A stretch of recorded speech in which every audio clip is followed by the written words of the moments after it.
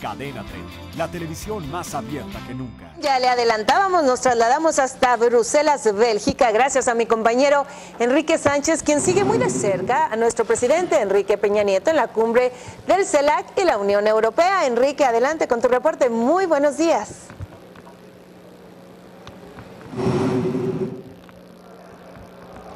Hola, ¿cómo estás, Idalí? Me da mucho gusto saludarte. Muy buenos días. Acá ya son las, la una de la tarde, ya las dos de la tarde con siete minutos en Bruselas, Bélgica. Hace unos minutos concluyó, de hecho, esta segunda cumbre Comunidad de Estados Latinoamericanos y del Caribe con la Unión Europea. Son en total 61 representantes o jefes de Estado que han asistido a esta reunión y que tiene como objetivo principal el buscar hacer, eh, encaminar acciones para lograr la prosperidad y el desarrollo económico de estas dos regiones. Al término de la clausura, hace apenas unos instantes, pudimos platicar con el presidente de la República, Enrique Peña Nieto, quien se encuentra aquí desde el día de ayer, y él hablaba sobre la importancia de lograr renegociar el Tratado de Libre Comercio entre México y la Unión Europea. Pero si te parece, Idalí, amigos de Cadena 3, eh, les presento la información de las actividades del presidente de la República este jueves, durante su primer día de, de participación en esta segunda cumbre CELAC Unión Europea.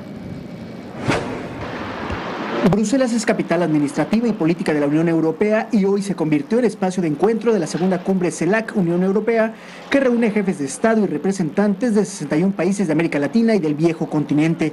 Hasta aquí llegó el presidente de México, Enrique Peña Nieto. En el aeropuerto internacional fue recibido por el embajador de nuestro país en Bélgica, Juan José Gómez Camacho, y personal de protocolo de esta nación. Ya en el complejo C de la Unión Europea, el mandatario refirió tres desafíos en los que estas dos regiones del mundo pueden y deben sumar esfuerzos Agenda de Desarrollo Post-2015, que tiene que ver con ir más allá del cumplimiento de los objetivos de desarrollo del milenio fijados desde 1990. En segundo lugar, el hacer frente con mayores acciones para frenar el cambio climático, tomando en cuenta que en diciembre de este año en París se llevará a cabo la COP21. Además, migración y el problema mundial de drogas. Respecto a este último asunto, Peña Nieto hizo ver que México no está de acuerdo con la legalización de las drogas y que, en cambio, promueve acciones para que sea a través de la prevención y la corresponsabilidad cómo se pueda enfrentar este fenómeno.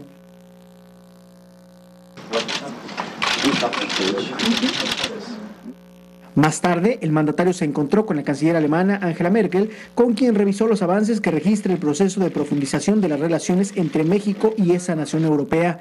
Al inicio del encuentro, la canciller Merkel extendió una felicitación al pueblo de México por el desarrollo y organización de la jornada electoral que concluyó este fin de semana y por la alta participación de la ciudadanía en las urnas. La mandataria alemana hizo un reconocimiento al presidente Peña Nieto por la adopción de las reformas estructurales que México ha impulsado a lo largo de la presente administración. Dijo que la Unión Europea sigue con detenimiento dicho proceso, dadas las oportunidades de inversión que conlleva. El presidente Peña Nieto asistió también a la fotografía oficial con sus homólogos que acudieron a este encuentro, entre los que destacan François Hollande de Francia, Juan Manuel Santos de Colombia, Mariano Rajoy de España, Ollanta Humala de Perú y David Cameron de la Gran Bretaña.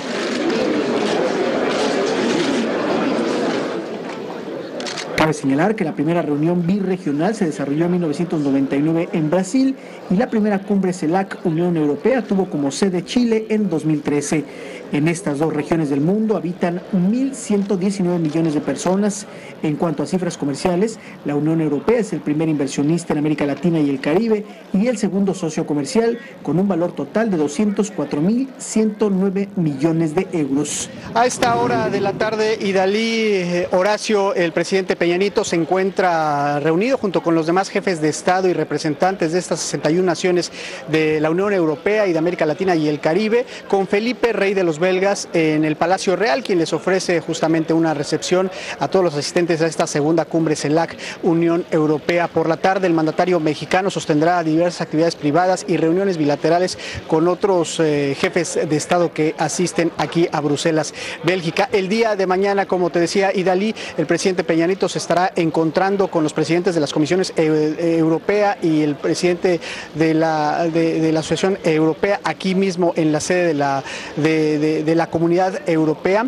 Y bueno, estarán hablando justamente de la posibilidad de reabrir este Tratado de Libre Comercio, renegociarlo para buscar potenciar pues, el intercambio comercial entre México y la Unión Europea. El mandatario, junto con la comitiva que lo acompaña, bueno, pues ha dialogado al, alto, al más alto nivel con algunos eh, jefes de Estado como David Cameron, primer ministro de la Gran Bretaña, la propia Angela Merkel de Alemania, para buscar el respaldo para que la Unión Europea pues eh, reabra este Tratado de Libre Comercio con México y están ya los trabajos preparatorios para que se logre esta renegociación del TLC. Por lo pronto, bueno, pues lo que tengo que informarles, estamos aquí en la sede del Consejo de la Unión Europea en Bruselas, Bélgica, capital administrativa y política de este organismo internacional.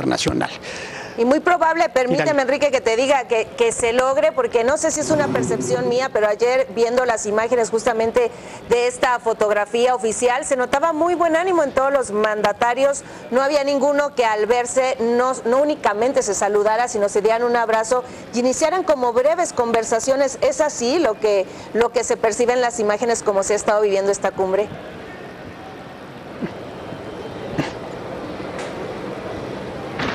Sí, no de ahora esta relación eh, fraterna bilateral que hay entre México y diversas naciones de Europa, en total 28 naciones que componen la Unión Europea. Eh, México ha recibido el respaldo para la reapertura del TLC eh, con por Alemania, Portugal, Gran Bretaña, España, entre otras naciones que lo que buscan es potenciar precisamente este acuerdo global con nuestro país, lograr eh, incluir otros productos tanto de la Unión Europea como de México libres de arancel para que esto permita pues un mayor desarrollo, un mayor intercambio comercial entre estas dos regiones del mundo. Bueno, pues muchísimas gracias Enrique por este enlace y por la información tan completa que nos has mostrado en esta mañana respecto a este importante evento que se está llevando a cabo y donde por supuesto México sin duda alguna está figurando.